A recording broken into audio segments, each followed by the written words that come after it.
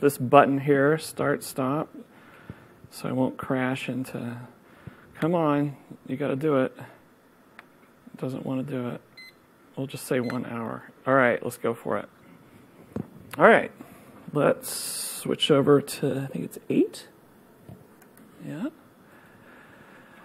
All right, so I'm Rob Tiffany. Um, anybody see my session yesterday with SQLite and Azure Mobile? Oh, good, a bunch of you did. All right.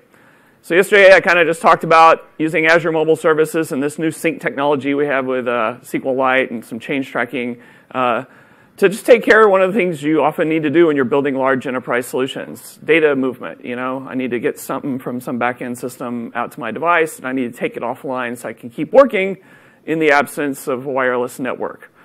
So today, I'm going to do the exact same thing, but with just different technology. Because you just need options, or you, I know you can't always make everything work the way I tell you in one scenario. Uh, and so uh, this session is going to be a little bit different. You know, there's a lot of craze lately about the notion of APIs, and anybody who's been a developer their whole life kind of rolls their eyes when they hear someone say, oh, APIs are the new thing. And what they mean is just the latest version of web service or SOA. Instead of SOAP and XML, they're talking about REST and JSON is what they're talking about. And that's now APIs. Imagine that. Uh, but it's good for mobile. Uh, that's how we get things connected. It's one of the easiest ways to do it. And also in this cross-platform world, you don't want to block any potential endpoints by using proprietary wire protocols, right? And so one thing we know that works with anything is, is REST and JSON. In fact, it works with a web browser. In fact, if you can call it from JavaScript and you don't even need an SDK, that's about as pervasive and as good as it gets. So I'm going to spend time talking about that. Um, so all about Web API. And again, I'm always about building large end-to-end mobile solutions. And so I'm going to talk about caching with Web APIs because I really feel the need for speed at all times, and so do your customers. Uh, but I'm also going to mix it up uh, you know, yesterday I was kind of talking about going into Azure and using SQL Azure, and uh, uh, and in the past I've done sessions like this where I talk about using replication to kind of shard out nodes with SQL Server. This time I thought I'd mix it up, and uh, who's heard about the really cool stuff in SQL Server 2014 in-memory tables? This is a giant game changer. Uh, you know, the, the idea that we're getting things off hard, spinning hard disks or even SSDs, and let's finally take advantage of 64-bit computing, okay? And, you, and RAM is cheap. So the biggest, the big announcement of SQL 2014 is bringing in-memory tables to the masses. It's not some weird, strange thing you've got to learn because there's lots of some new proprietary type of in-memory databases out there. This one is just SQL Server Management Studio, like we all know. Uh, yeah, there's some, there's some tweaks.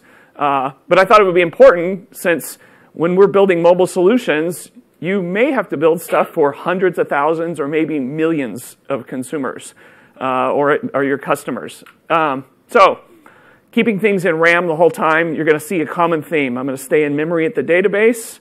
I'm going to use these crazy new native machine code compiled stored procedures that SQL 2014 has. I'm going to cache my web APIs. And then I'm going to consume them from the universal apps, uh, kind of like I did yesterday with SQLite, except this time I'm going to show you how to do in-memory object collections uh, and then serialize those. So kind of NoSQL looking. So, uh, so anyway, I currently, uh, I, uh, for those of you who weren't here yesterday, I, uh, the group I work in at Microsoft, I'm working in this incubation team. And it's just like you think it is, you know, like an incubator outside, you know, with startups except it's for inside Microsoft. So we incubate new products that we've created, or when we do acquisitions from other companies, to kind of bring them in and you know get them going down the right direction. So I get to see lots of stuff. Still kind of in the mobile space right these days. I've been working with uh, our device management products like Intune, uh, as well as our Internet of Things offerings, our IoT stuff, which uh, we have this thing called Azure Intelligent System Service, little agent streaming data over service bus into Azure, and then you're going to do some cool stuff with it. So that's a lot of fun. All right, so let's just dive into it. Let's see if the clicker works. Yes. You hear people always talking about being mobile first all the time. I've heard it for a long time, and then now Satya is always saying mobile first, cloud first, all at the same time. Um, I really find, though, that it's easier if you just think API first. Because when you do anything API first, you don't paint yourself in a corner or cause, you know, block yourself. Because uh, lots of people will say, hey, we're mobile first. We built these apps for mobile devices, and so we're good to go. But what, what they really did is they built monolithic apps that are hard coded for a particular platform and a particular wire protocol and a particular everything. So they really didn't do anything. Uh, you know, they built one app for one device. If you instead step back, and you know, we've done this as developers forever, you know, if you always think about, like, think about just product development. Lots of times people just race and build a product really fast, and then they find out that customers or partners want extensibility. And people end up bolting on APIs to it after the fact, and it's just a kludge. And so a good lesson has always been conceive of your product, build the API for your product first, then build your product on top of your API. That's always been a good, great pattern for all software development, wherever you do it. But it's especially important for mobile first world. And so think about just building those APIs, then in any client on any mobile device can consume those APIs and keep that in mind. So that's, that's a good way to think about it. Um, since I'm always mostly focused on enterprise mobility, I'm just going to kind of go through some of the highlights of uh, kind of what I think about. A lot of, you know, I, I, I, do these executive briefings every week. We have plane loads of CEOs and CIOs flying into Redmond every week, and we have this big building called the Executive Briefing Center, and I talk to them every week uh, about mobility and things like that. And uh, you start to pick up on some certain themes, and they're pretty simple actually, and it, it's great to kind of give you direction. So. Um, the first one is this is really simple, and a lot, I see a lot of products and a lot of systems being built. Really, they don't know how to articulate it, but it's really based on this thing. I need to get data from any of my back-end systems out to any of my devices to empower my workforce. That's really what a whole lot of people want to do in a nutshell, this whole mobility thing. And so they're bending over backwards to find ways to do that. They're building, buying new things off the shelf, or they're trying to modify old stuff to, to be able to get out to devices. Um, and so there's lots of ways to skin that cat. There, uh, you know, I've been involved in, um, in the past, you know, you've seen these uh, packages called Mobile Enterprise Application Platform packages from MEAP vendors, and now you got mobile backend as a service people kind of doing their thing. And they're all trying to achieve the same thing get data from anywhere back out to anywhere. So, uh, so I want to, that, that's kind of the gist of what this whole talk is about. So, what are the problems when you, when you do that? Well, when you just say any backend system, that could kind of get kind of crazy. And so you're going to find yourself integrating with all kinds of backend systems. They all speak different languages. They all have different proprietary protocols that they communicate over. Some don't have any, you know, some are really lame and use databases or whatever to communicate. Lots of old stuff. One other thing, this is not necessarily wisdom because probably lots of you realize it, but you know, we always are trying to hopefully be in this new greenfield world of building all the newest, coolest stuff. But the reality is, is customers, big companies are a lot more conservative than you think they're going to be. Even when the CIO says that he's a hard-charging, game-changing visionary. But the reality is, most of them are really just keeping the lights on. And the old systems that they've had for decades, they're really not interested in changing them as much as you think they will. They're, they're just like, ah, it's still working. I'm not going to change it. You know, you see customers running VB6 stuff in a VM somewhere in an isolated vault to keep it alive, you know, because their whole railway system's based on it or whatever, you know. So you're going to have to talk to lots of different back-end systems. Now here's another problem with these back-end systems, and you'll kind of see a theme here, because these back-end systems, they're the value, that's what these companies use to run their business, but they might be dated, they might, might they're not designed for the mobile web at all. They're not designed for devices. So they can't talk the right language, and then lots of them weren't designed to scale or to have that performance. You know, lots of them were designed, you know, years ago when a, a departmental app, you know, with maybe hundreds of people connecting to it was fine, or maybe even thousands for large systems. You know, as you know, in mobility of devices, you might accidentally get really lucky and have millions of people using your service. And you know that could be a good news, bad news things because if you're integrating with backend systems that are not prepared for that onslaught, then you're going to be in big trouble. The whole thing will melt down. So we need to find a way to help a lot of these backend systems be ready for the mobile web. And then, kind of like I said earlier, use REST APIs to expose those backend systems to mobile devices via via a gateway of some kind. So kind of where I'm going to talk now, I'm not going to, you know, this will, this works anywhere, this conversation. I'm not just giving an Azure talk and how you could do PaaS to build stuff like this. I'm doing a talk where, you know, this is stuff, you know, if you've got lots of customers that still want to do lots of stuff on premise, this whole solution works on premise. It can work in the cloud. And I'm not going to talk about, you might be familiar, we did an acquisition a while ago of an API management company, and we've integrated that. We've got that in preview in Azure. I'm not really talking about that, but we've got some really cool stuff to, to really manage and help you scale web APIs in a way that, that you can't do out of the box. So I'm not touching on that yet. I'm just going to get to the nuts and bolts. And then, of course, those apps are going to consume that data from those web APIs, those REST APIs, and they're going to interact with it, and they need to keep working even when they're offline because you don't have ubiquitous wireless networking everywhere. So that's those are kind of the big things. That's kind of what I'm going to address. Um, so kind of a visual representation might look something like this. You know, I've got all this, all these back-end systems. Could be hundreds or thousands of different types of things at the top here, and then you see at the bottom, I've got tablets and smartphones and devices. And so the problem we're trying to solve is how do I get all that enterprise data from there down to these devices? And so uh, lots of ways to skin that cat.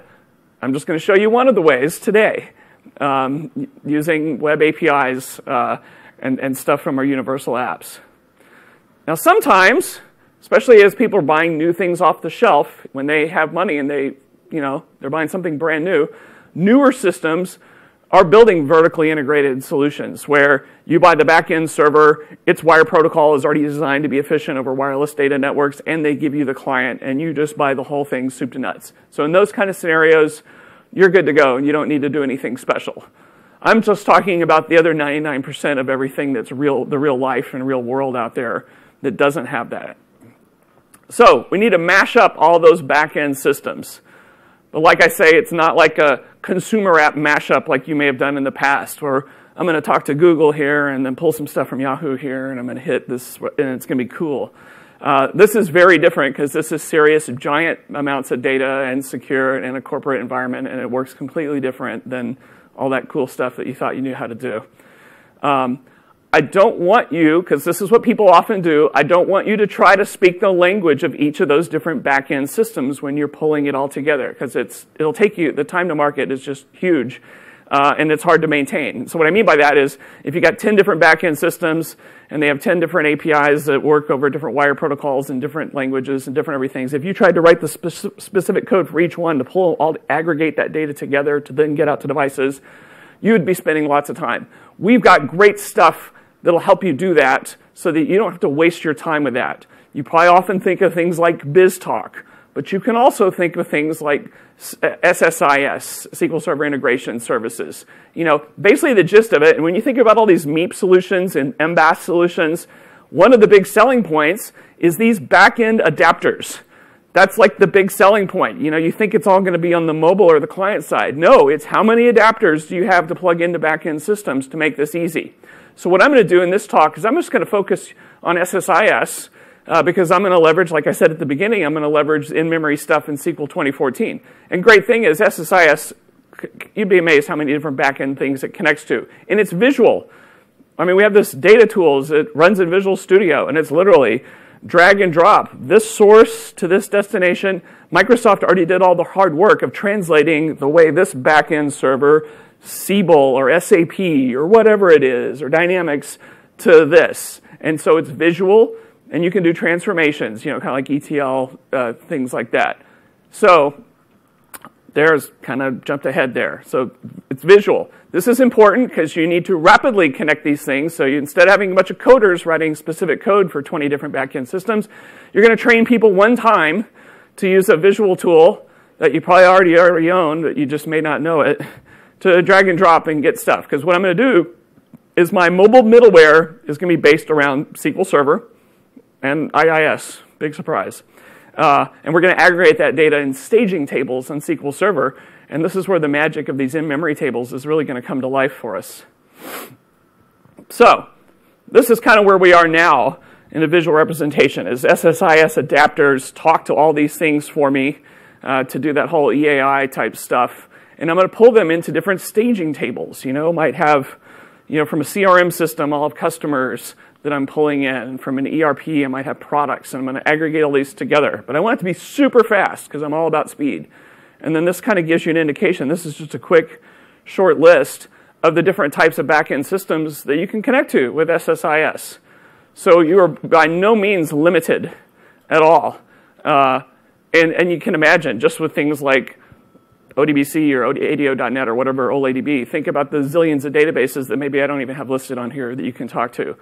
But being able to interface with the native APIs is also an important thing. And so you absolutely have that here. Or it has HTTP or things like that. You know, if maybe I need to interface with Salesforce.com, pull some data in there, pull something else, integrate there. So it's kind of this enterprise way of integrating with these things versus kind of your consumer mashups. So what am I doing? I'm going to use SQL 2014 as a server facade in front of all this stuff back here.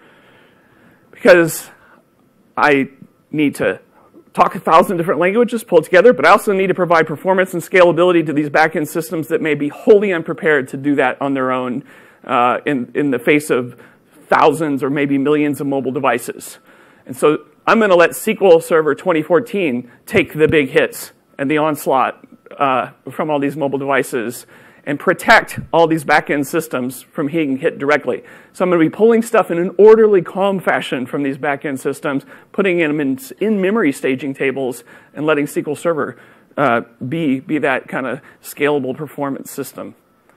So what are some of the benefits with, basically we're talking about these new in-memory tables. You know, so we've, we've got, we're off a disk. And I know things got a whole lot better with SSDs, and I absolutely whenever you're deploying any kind of server, please use SSDs. It's just it's like magic, you know? Uh, why wouldn't you? But then getting off of there and really using all the cheap RAM that we have today, you know, obviously your latency, all that, all that stuff, all that time to disk, all that other stuff just kind of goes away. You're getting out of disk-bound I.O., and so things are coming back super, super fast. We didn't just take our existing database technology and just say, hey, it's in RAM. If we did, that would still be awesome. But we also did some other things. Uh, and so all this thing, all this stuff to eliminate contention, uh, you know, all the locks and latches and stuff like that. We've totally reworked how all that works. And no, you're not, you know, we, we did some stuff uh, with the, the, kind of a uh, snapshot isolation in the past, you know, where we beat up on TempDB and you do row versioning kind of stuff like with normal databases. It's not even, it's kind of like that, but it's like the next gen of that. We're not even touching TempDB either. And so really free movements, not lots of locking to do what we need to do. But you're not going to have to worry about getting out of, out of in a, you know, a bad state. You know, you're always going to have that durability. So disk I.O. reduction, obviously, because we have, and I'll talk about the different types of data durability, because you might be asking yourself, well, if all this stuff's in RAM, that's awesome. But what if the thing crashes or what if something goes wrong? How do I know I've got my data saved? So I'll talk about that in a second. Here's the great thing. It's just extreme performance. I've talked to folks, you know, we have, uh, we have these early adopter TAP programs, and we've had lots of customers. This is all anecdotal from different customers who've upgraded from past versions of SQL, like 2008, 2012.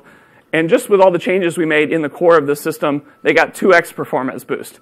And for most CIOs, that was, wow, that was totally worth it. Uh, done, great. But then when you start migrating these tables to in-memory tables, all, all, of a sudden if they say, wow, you might get to 25 times faster, this is a huge game changer for any business because if the database is the heart of any system you built, you just made all your apps and everything that your customers use and the employees, everything just got a whole lot faster.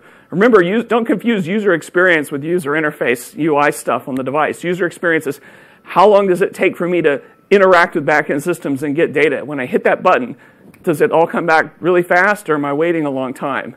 And remember, we're always contending with wireless data networks, so we're already kind of up against it anyway. So give it all the help you can. So this incredible performance boost uh, is just amazing. So I'm just going to, I've got some slides here with some screenshots so you can kind of just quickly see, quick and dirty, how you might quickly build an in-memory table. Uh, so we'll just blaze through this really quick. Uh, if, you, if you do work with SQL Server, some of you might, this might look strange to you. But anyway, you're just going to start off by creating a new database like you normally would. Nothing special there. But then you've got this, you've got the, the, these file groups ideas here, and so there's this new feature If you look down here in memory optimized data at the bottom, this kind of memory optimized data file group. So you're going to add that file group in after you've created just the initial database. Then the next thing is you've got this file stream data type that you're going to add in. Um, and it's really just that simple. I, I go to robtiffany.com. I have a blog post that just walks you through how to do this up and running. So you can quickly build in-memory tables really fast and start checking them out for yourself. So the tables themselves, here's the other thing. SQL 2014 doesn't require the whole database to run in RAM. You, you do it on a table by table basis. You can choose to have old style tables because you're, maybe you're doing a migration and you just want to do one table at a time. Uh, you may not feel the need to have everything in RAM. So you get to choose. So it's just at a table basis. So when you're creating new tables, right now we don't have super, we don't have all the tooling built out to visually create these tables. You get a starter SQL script, but I'll show you what a script looks like. Um, but you know, it's kind of like your typical create table, you know, except you'll have this, you know, keywords like memory optimized is on. I talked about durability. So when in this case, I'm talking about using it as staging tables because I'm passing through backend systems, and this is just kind of a holding place for a moment in SQL Server. So I'm not as worried about durability here. So I can say schema only, which basically means I'm not going to be writing, I'm not going to do any transaction logging or I/O on that on a background thread. I'm just going to leave it alone. And I know if the database crashes, I'll lose that. When it starts up again, you'll still get, they'll still rebuild the schema, but the data won't be there. But since it's a staging table, I'm not as worried. If I'm doing for just standard tables, I want to build my whole new, brand new transactional system, then I would say schema and data. And so you get, then you have options there. It'll, it'll write those transactions to logs in the background. Uh, here's, a, uh, here's a quick view of what the, a create table looks like. No identity columns. That might be a bummer for some of you who love those. So in this case, I'm using uh, GUIDs. Um, things are a little weird, and I'm not going to go too much in detail because I don't want this to become a SQL Server session because I want to keep moving on past this. Uh, but the, the idea of this non-clustered hash for your primary key, there's like literally in-memory hash tables. This weird thing, what's this bucket count? That's, that's new. It's basically all the buckets and hash tables. Basically, whatever you think the total number of primary keys you might have in the future, kind of just double that amount or whatever. You'll use more RAM. But if you, if you do too low of amount on bucket count, it could hurt performance. But the key takeaway is just memory optimized on, you set the durability, and you go from there. And so in this situation, just like in my session yesterday, I wanted to kind of have apples to apples comparison with two different ways of doing the same thing. So I've got customers, I've got a product table, and I've got an order table. Now, here's the next part of the cool stuff. We changed stored procs. Maybe you haven't built stored procs anymore or in a long time and you started using, eh, you know, you know, things like uh, Entity Framework or other, other technologies, Spring, Hibernate, whatever. Well, we have these new native compiled stored procedures that might bring you back home to doing that again because it's not just the same old T-SQL. They literally, we have the C++ compiler in there and they literally get compiled to C DLLs and they run in RAM.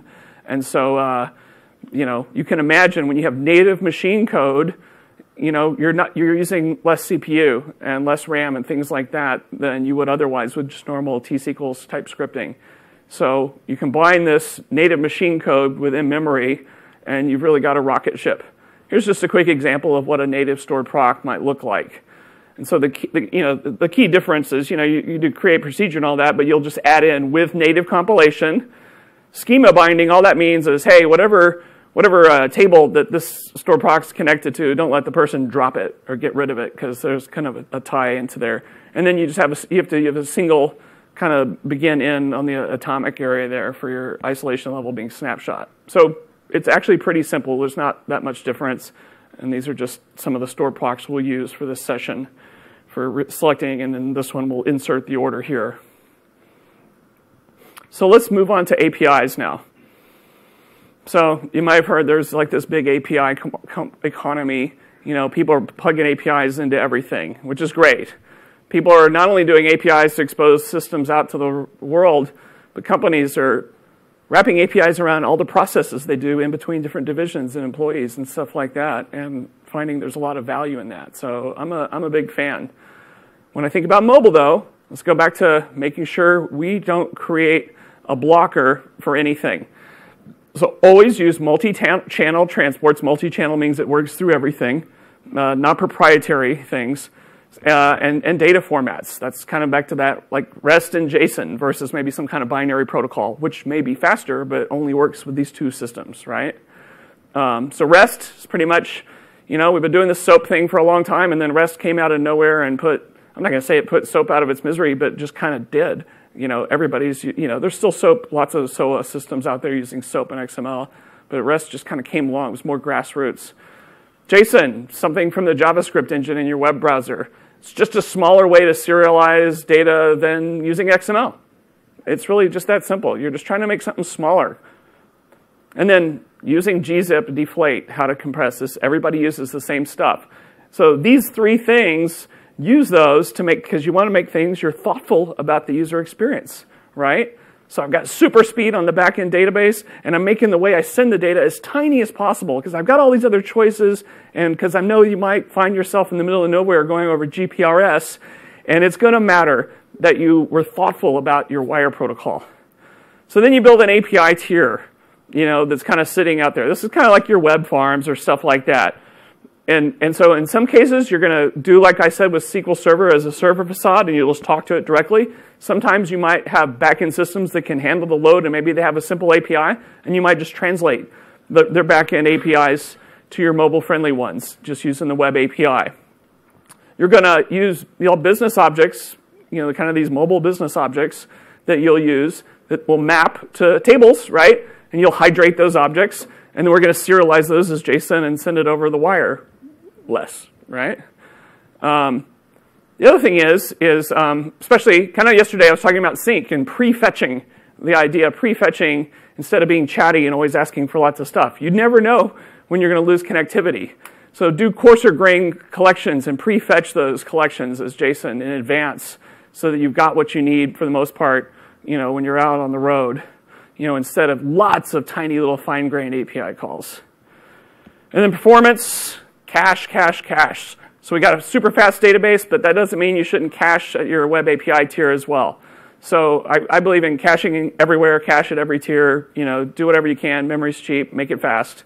Uh, you have a lot of different options that you can see here. We have the standard kind of. We used to have a one uh, caching thing. It was just an ASP.NET only. Now we've made it, it just works across all .NET. It's just called memory cache but you can also use the Azure cache, kind of you think of that like Memcache, distributed cache, right? Or you think of Redis or stuff like that. And then we have AppFabric caching on-prem with your Windows servers.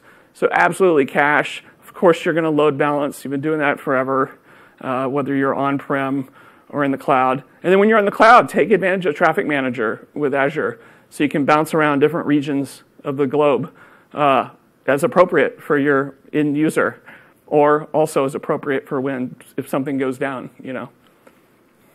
So we're going to have little data, little models. So I'm going to have a customer table that you saw me create, and so I'm going to have a customer model that looks just like that. So just a little simple POCO, kind of similar to what I showed you yesterday with uh, working with SQLite. Uh, you can have services. I'll talk to this more in a second because you know web API is kind of based on the whole MVC stuff in Web API, you know, uh, ASP.NET. And so you've got controllers and all that fun stuff. I'm going to show you something about, it's, called, it's a pattern called the repository pattern. We'll just geek out there just for a second, you know, uh, as far as how you should get your data so that you don't tightly bind stuff in the wrong place. So Web API, you're going to create a controller, you know, when you're creating Web API in Visual Studio. Um, Obviously, we have it where it can work within any framework. In my case, I'm just going to do some kind of bare bones ones because uh, I'm just going to do plain old REST and JSON. You're going to name that controller. A lot of times it'll name it for you. In this case, we're getting a customer controller. And you've got to do that in order to communicate. Uh, and so this is kind of what a controller looks like. I'll show you in the code here in a second. The key difference, you'll see lots of examples oftentimes where right in the controller, someone will write all the code to talk to the Entity framework right there, or talk to the database or whatever right there. I just want to make you, you know, follow this little simple pattern where I, I don't want you to end up, you know, because if you have to change data sources, you know the deal. You don't want to have to rip out code and stuff like that. So this repository pattern, you'll you'll use that to make the calls rather than because by default you'll see scaffolding with all the gets, puts, deletes, all that kind of stuff right in the controller. I want you to pull that out of there because you need to be flexible if you make changes, right? And so in the end, you'll have your API tier of servers that are load balanced and cached hitting these in-memory staging tables via native stored procs. Sounds pretty cool, doesn't it? So let's take a look at it. All right. Um, first thing I'll show you is just this is just SQL Server a SQL Server. You know, you can see here I got customer table, order table, product. But these are just all in memory, and you can just kind of see what I have in here. If you were at the session yesterday, it's the exact same data as I was doing with SQLite and Azure Mobile Services. Um, so nothing, nothing strange, nothing weird training you have to learn. So the cool thing about the Web API is that you can test it before you build the client. So I've got my Web API code here, and, and uh, you know, so like uh, you can see here on the right, I've got controllers, I've got models, and I've got services. So you know, there's a customer model that's going to map to that customer staging table. A product's going to map, you know, just like you might expect.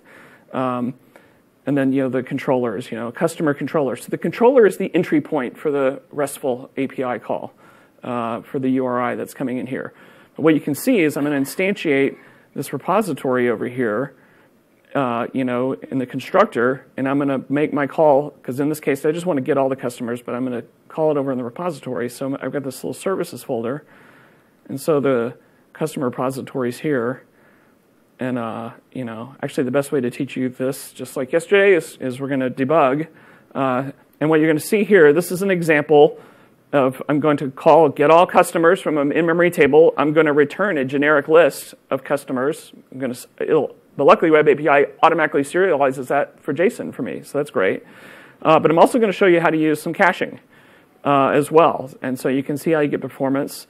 And so uh, and it's just standard ADO.NET calling a native stored proc. So let's let's just test it out. And here's the great thing is is you can build your whole API suite before you've even written a line of code on any client app for, for Windows or iOS or anything, uh, which is great because you can fully test and, and feel good about your APIs. So it's easy enough. I just hit API. In this case, I'm going to hit customer and hit return, and it hits my breakpoint. So I've already gone into my repository there and get all customers. And so let's just kind of let's kind of debug through here. So right away, I'm going to set up this memory cache because I'm going to use it. You know, how to expire your cache, that's up to you based on the data. Right now, I'm just going to do 30 seconds just for an example. The next thing I'm going to do is I'm going to check, hey, is there a list of customers by chance already sitting in cache? Because you know what? The fastest SQL query I can make is the one I don't have to make, right? Because it's already in RAM waiting for me. And then I'm faster and more scalable. And if it's not there, then I'm going to keep trucking along create this cache policy, and then here we're going to get something that looks familiar. You, I'm going to grab a connection string because we're going to just do some familiar SQL stuff.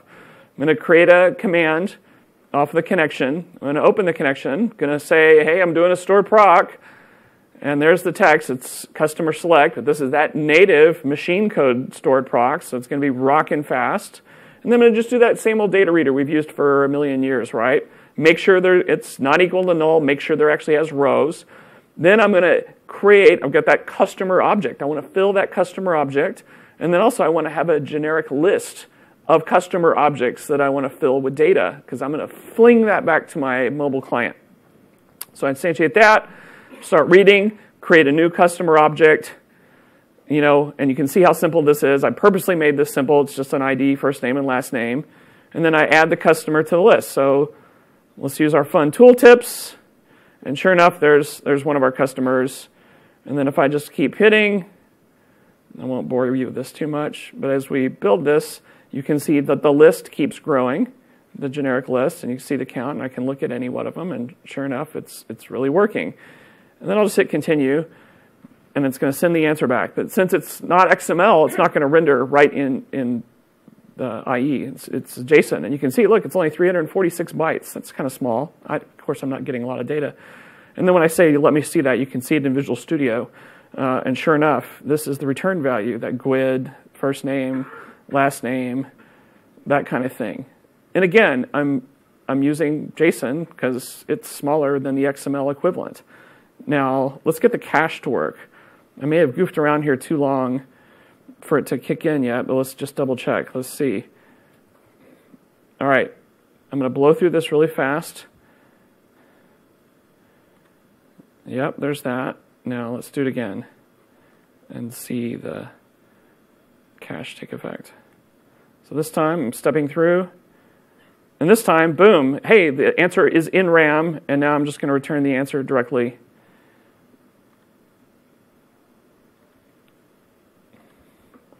And so, you know, sure enough, there it is. And so, anyway, caching's your friend. It's all good. So that's kind of the takeaway on the web API side. So let's go back to 8.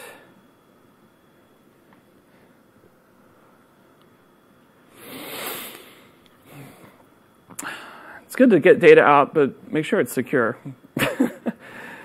um, so anyway, I won't spend too much time on this, but there's the idea of a mobile access gateway. If you're building this whole system in the cloud, it just works, right? But if you're building it on-prem in your company's data center, you've got to be able to publish that data out. It doesn't just go out. Um, so anyway, you may in the past have used, like anybody who's got Exchange server set up in their company, you've been using things in the past like ISA server or UAG or things like that, or some other reverse proxy. So the cool thing is, is recently, last fall, we uh, kind of the blue wave of servers, Windows Server 2012 R2, we, we built in that thing called web application proxy to do exactly that, that just securely publish back-end services. So like you've got to, you need to map it to a virtual directory on IIS to publish it out to the internet where people can get that securely, you know, so without requiring people to like set up a VPN tunnel or something like that. Uh, so that's kind of takeaway. So kind of kind of similar pattern that a jillion people use all over the planet to get Exchange email on every device imaginable. Uh, sits in the DMZ between your back and front firewalls. I'm not going to get into that because I know I talk to different security people and they go just totally medieval on me on the different ways that you should be setting all that stuff up. But that's kind of the key takeaway there. Uh, works with ADFS, can do claims-based authentication, or the good old Kerberos that we've been using forever. And then, yeah, it just maps that external URL to an internal URL for a virtual directory. And that's how you, and you know what? I've used this for so long because all the old merge replications sync and it used IIS with little server agent to sync with Pocket PCs and Windows mobile devices. Use this exact same pattern to do that. So nothing new here. So that's how you get the data out security, securely. And so now you see down here at the bottom, you, you know, and you can cluster these gateways, you know, in case there's a whole bunch of people hitting this data. And they're just touching, you know, you, you got the NLB that you're pointing, uh, cluster virtual IP you point to to hit your, your API tier. So somebody at the keynote the other night said data is the new oil, and it's going to sound like I copied this from him, but really I already had this. But you, for real, um, I was just trying to be clever. But uh, but it's right. There's so much value to data, but to get data, you're going to need APIs, right? That's that's that's that you got to facilitate that, and then you're going to see the data with your all kinds of devices, right? And so these are kind of the things you need all together, and so that's why this whole API thing is exploding right now. This is how to uh, how to get at all this data. I need to build APIs. I'm not going to build some monolithic tool to get it. I'm going to set it free or lock it down or by role or whatever. So we got to talk to it. How do I consume this data? APIs. So we're now we're in our universal app land here. And so we have the WinRT HTTP client. So let's geek out. We're going to use that to call these RESTful APIs. So this is not going to be like anybody who's worked in the last decade or more where we have uh, a ASPX or ASMX or you know the different web services and you can right click on the service and create a proxy.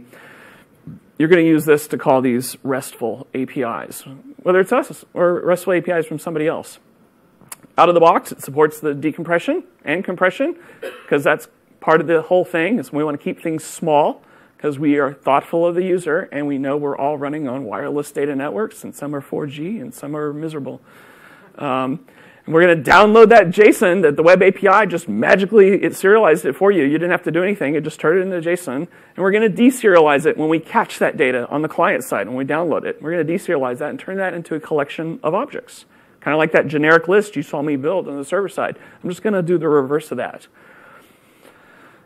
and then, in, and then in, on the flip side, when I'm creating new data, I'll add to collections and I'll serialize it and send it back up.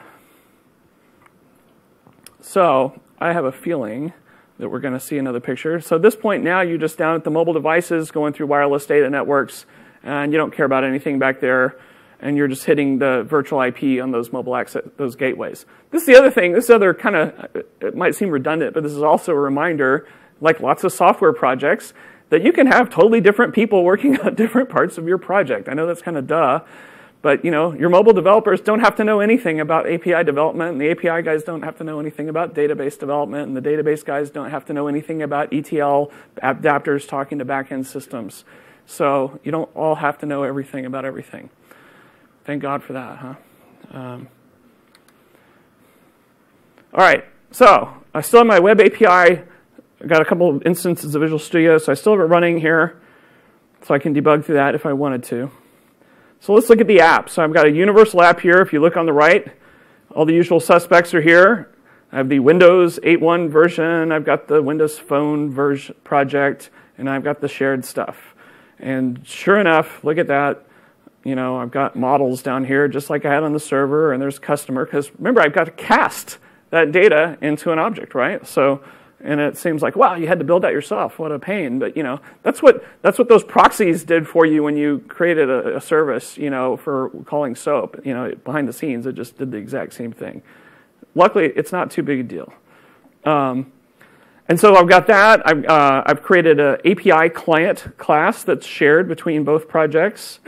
Um, you know if I look at it you know I'm going to call my local host here for my web APIs and I've got this clever HTTP client handler here, which you, you use in advance of just the normal HTTP client. And because that, because it can detect if your device and, and the stream supports decompression, and if it does, then it'll use it. And you can scroll over here, and sure enough, yep, I'm going to use gzip, and I'm going to use deflate.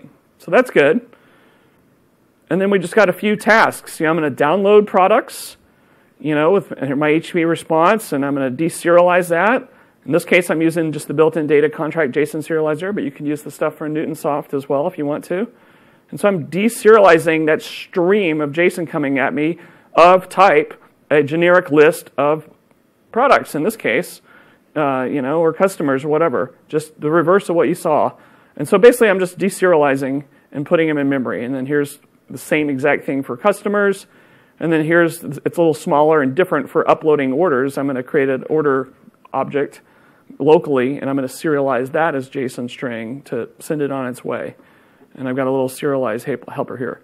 I also have this other giant thing here called table storage class. So basically, and I won't, we'll, debug through a lot of this, but kind of like yesterday, I kind of talked about DDL and DML. So DDL, I'm creating my tables. So here I'm defining my generic lists of customer orders and products tables. Um, I'm going to instantiate them. And then I've got lots of methods uh, where I'll go through a lot of the CRUD stuff, upload, download, and saving offline, because obviously serializing offline is one of the key elements, right? Because it needs to keep working. You need to be able to reboot your device, and the data is still still there. So let's start off here and just fire it up in Windows Phone emulator. And so you can see here, I've got stuff to call my web APIs, download, real simple, just a couple downloads and an upload. Uh, and you also see here, I've got an area where I can work with data. And again, this is very similar to what I did yesterday with SQLite, except this time we're going to use NoSQL in-memory collections instead. Um, so let's just do the web APIs from the phone, and I'll do the CRUD stuff from the tablet. Uh, so let's just walk through downloading products. So I'm going to call into that web API client that I built, uh, and ultimately I want to return a list of products right? So let's hit F11. We're going to go in there. And look at that. We just instantly, you probably didn't notice it, we just instantly switched to the other version of Visual Studio that was already debugging, the API thing, if you look at the top. And so you see right away we're hitting the server-side code. So you've seen this before, so I don't need to bore you with that. So we'll let it run. And sure enough, it comes back. We deserialize it, and then we return it. And of course, you know, I got to prove it to you. So when we do our fun tooltips, and sure enough, we now have pulled back four different products, and sure enough, those are some products, you know, graphics card, hard drives, stuff like that. and then the, the same, and you know, you can download customers, but it's exactly the same. And so again, you see I'm hitting the customer side. So again, you know, if I'm hitting this a lot and I have a lot of people, you know, I'll be hitting cached versions of that, and so it gets a whole lot faster. Um, so that's kind of a quick gist of some uploading download. Really simple boilerplate code that you use to call these REST services. So uh, so it's it's not a big deal. So let's just go ahead and kill this. And so now, I think the next thing I'll do is I'll I'll, I'll set the tablet up to be the startup project. Let's uh, let's move back over to the slides for a sec. All right, so we consumed API data. So now we need to work offline. Now that data is on board our device, we got to work with it offline. And uh, and the cool thing is, I'm going to show you NoSQL object collections, but you could absolutely substitute by hand the stuff I showed you yesterday using SQLite if you want. You know, and and the guidance here is it has to do with how much data you're talking about. You know, if you're talking about just tons, of huge amounts of data, then you might want to use a SQLite database because it's going to be more capable of ha- handling larger volumes of data on the device versus these collections of objects. Um, so anyway, keep working while there's no connectivity. You're going to be able to create tables. And you're going to use LINQ to query those in-memory object collections. That's the whole great thing about language integrated query is we can query collections using something that looks like SQL. And that's what we're doing because we're turning JSON into in-memory collections. Oh my gosh, I just built an in-memory database and we just called an in-memory database on the server side from SQL 2014. So we are just staying in memory the whole time. Um, insert, update, delete, selects, you know, make it real. Uh, multi-table joins, like I showed yesterday, I'll show you some ridiculous way to do multi-table join against three collections in RAM to show that that's real. Uh, and then, of course, most importantly, save it offline uh, so that the device can crash, the device can reboot, whatever, run out of battery, and you're, you're still in good shape. So let's take a look at the cruddy stuff of offline data. So I'm going to fire up the simulator now for Windows 8.1. And you know, here's kind of the version of the same stuff, calling Web API. So in this case, I'm just going to hard code some inserts uh, just to play with here. So if I hit insert here, I'll just step through one of these. I'll show you what it looks like inserting customers into this in-memory collection. This is assuming I hadn't pre-downloaded this. This is assuming I've got nothing and I'm creating it from scratch here. And so as I go there, I'm basically taking that customer list and then adding, you know, newing up a customer model object and putting in data you know, and I'm using GUIDs because I know I'm using that back on the back end. And then right here, this save changes. So I did insert. Think of this in SQL way of as, this, as your auto commit. You know, this is me committing to disk right now when I do the insert. I could choose not to. I could I could commit to disk on a timer every 30 seconds or whatever you want to do. You know, because maybe if you want to, you know how it is when you're doing inserts into database. If you you know, do a transaction so that you buffer it all up and then slam it all in one time. It's a lot faster than commit, commit, commit, commit. Anyway, so let's go ahead and step through what state of changes looks like. Oh, I hit F10. So there's, we're going to insert products. Here's what save changes looks like. So I pass in a collection. There's my collection of products. In this case, I'm saying, hey, call this table. I'm just writing a file. It's a JSON file. And so I create the file async, and, uh, and it does that for me and saves it. And then it's just as easy. And here's some dummy orders I've created. So anyway, select. I'm just going to call this method here to and bind it to the item source of a, this customer list view. And so, kind of like yesterday, just simple, it can be whatever you want, as complex or simple uh, LINQ as you want. In this case, I'm just saying, give me everything. Give me all the products and give me those orders, which, you know. And so here again, so now I've got my stuff, all my customers, my products, and those bad orders, and you'll get it when I get to it, just like I did yesterday. And so let's do some other CRUD operations. Let me show what it's like to delete one of those. We'll step into that. This is kind of what the LINQ looks like when I want to delete you know, basically I'm just saying, hey, remove remove from this collection where the ID is equal to that ugly GUID. I could have done something else, obviously. Uh, and then serialize that immediately uh, to disk. Um, let's take the breakpoint off of here because that's going to get redundant. Kind of like I apologized yesterday, I'm not using MVVM in this example, so it's not data bound. I'm just refreshing each time so you can see what it looks like. Um, so I deleted one, I deleted myself. There's only Andy, Nick, and Martin left. If I want to delete all,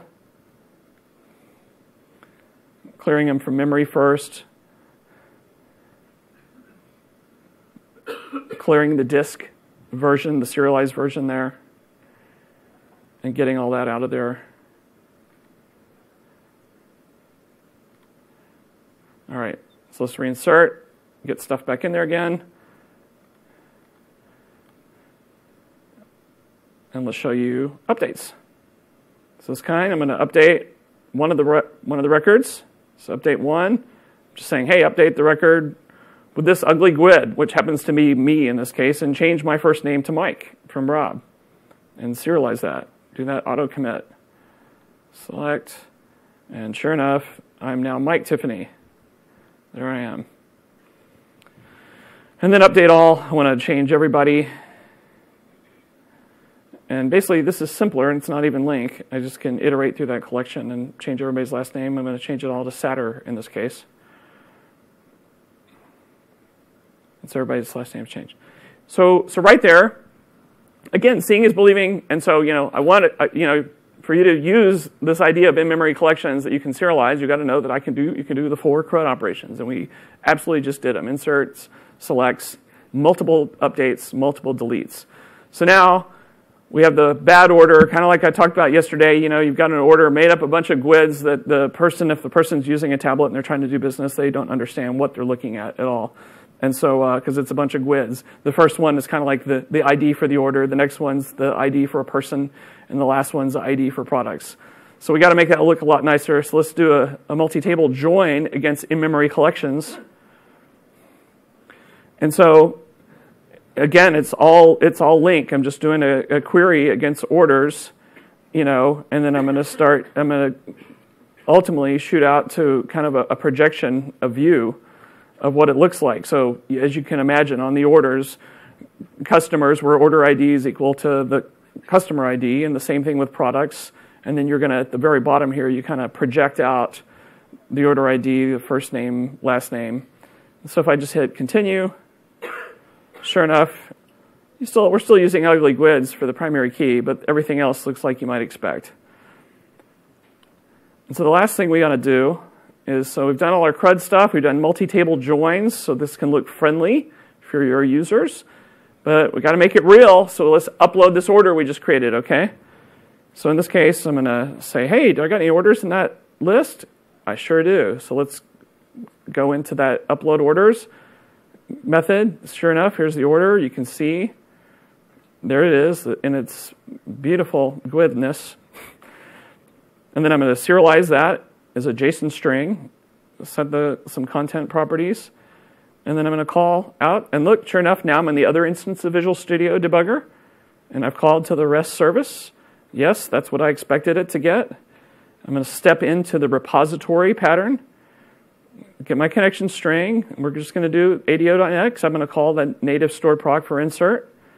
So we're just doing an insert, you know, grabbing all the, the values, you know, doing a parameterized query because that's best practice, right? Instead of me just building some giant string, right? Um, so I'm going to put that in there, execute the query. Hope it all works out. And we're done. Of course, you're not done until you look at the database. So here's the orders. So let's refresh that. And sure enough, there's our new order that goes in there. And so we did our total round trip. Memory, native stored procs, memory web APIs, memory database on the device, big in memory theme, speed, scalability. And so in the end, you know, look what you built. You built this thing. um, anyway, obviously, like I said, there's lots of ways to approach these problems. This is just one way. but it's a, it's a great way to use the, especially on that back end, to provide that speed and scalability that some of these back end systems may not have. Uh, and you might want to do some other things like scale out your data tier and sharding and stuff like that. I didn't talk about doing that. The great thing, too, one of the features when we uh, talk about the in-memory capabilities in SQL 2014 is, you know, some of the stuff I read, it's often roughly equivalent to have, you know, scaled out maybe five or 10 other SQL servers, just the performance you get because you're not hitting disks anymore and things like that, and you don't have those latches. And so, uh, so anyway, dramatic performance improvements. Uh, you can build some pretty big servers, lots of RAMs, and you can do this in IaaS too. You can absolutely, you know, if you get a bigger VM with lots of RAM, put SQL 2014 in there. We've got lots of guidance on the web to talk to you about how you can do that if you would like to do that versus Azure SQL Database because uh, it's going to give you the in-memory stuff that Azure SQL Database isn't doing today. And so there you go. You built this cool thing, and we are all done. Uh, I really appreciate you coming and spending some time. We got some great, uh, really interested. This DocumentDB that, that looks like that's going to be a great session there because uh, it's kind of along the lines of what are the different ways we're doing scalable databases on the back end to really scale out and give you great performance for all these mobile devices. So uh, that, that looks like a good one. Uh, lots of resources you've seen already. And please, please, please submit your evaluation. And so now I have a few minutes to ask some questions, answer some questions, and then I'm going to go fly to Queenstown because I heard it just totally rocks down there. Thank you so much for your time.